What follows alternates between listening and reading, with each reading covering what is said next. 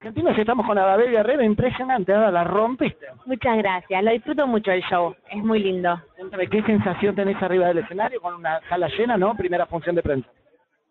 Me encanta, no sé, es como que subo al escenario y siento una magia que, no sé, se apodera de mí, no sé cómo explicarlo. Y la verdad que me encanta transmitirlo, me encanta que la gente lo disfrute y, y se vaya emocionada a su casa. Te vi que estabas muy cansada al final de la obra, porque claro, es una obra que tiene mucha energía y mucho trabajo, ¿no? Mucha, mucha energía y aparte estamos desde temprano, hoy que fue el debut, tengo a mi bebé que me está esperando ahí, que por eso también estoy ansiosa que me quiero ir, porque son muchas horas que la dejo con el papá, obviamente, pero bueno, que quiero ya estar con ella.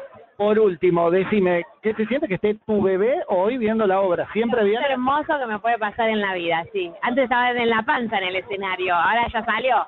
Así que está mirándola la obra. Bueno, te viene a ver y bueno, vos como mamá contenta. Gigante, sí, feliz. Gracias, Ada. Gracias, eh. Esto es Bien Argentino. Este programa es miembro de AXA, Asociación de Comunicadores Sociales de Argentina.